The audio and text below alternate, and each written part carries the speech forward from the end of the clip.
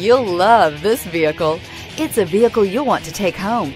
Call today and get in touch with the dealer directly and be the first person to open the vehicle's door today. This vehicle has less than 100 miles. Here are some of this vehicle's great options. Aluminum wheels, heated side mirrors, traction control, daytime running lights, remote keyless entry, FWD, headlights auto off, mirror memory, power brakes, backup camera. This beauty is sure to make you the talk of the neighborhood. So call or drop in for a test drive today.